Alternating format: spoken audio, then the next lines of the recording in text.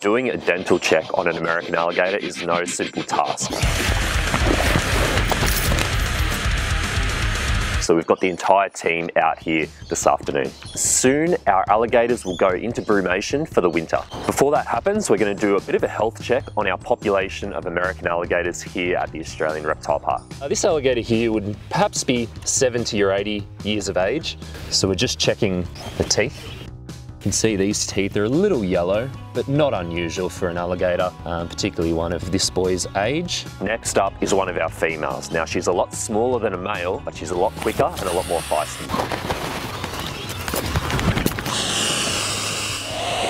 Hissing away, so on top of checking the large males, we're also making sure to check on some of these smaller females. This was actually a female that laid a clutch of eggs back in January and she's put on nice weight, but going into winter we want to make sure that she's in good nick. So this next male, he's not the largest male in the lagoon, but he's certainly known for throwing his weight around a bit. He's being really stubborn and he's really heavy. He's dug his back feet in, he's not moving, so I'm gonna have to get in there behind him and uh, give him a little push up the bank. Overall, this health check was really positive. Everyone looks in really great condition heading into winter. Now we don't feed our American alligators over winter. The water temperature drops too low for them to digest food. So we'll start feeding the alligators again once it warms up in September or October. All right, three,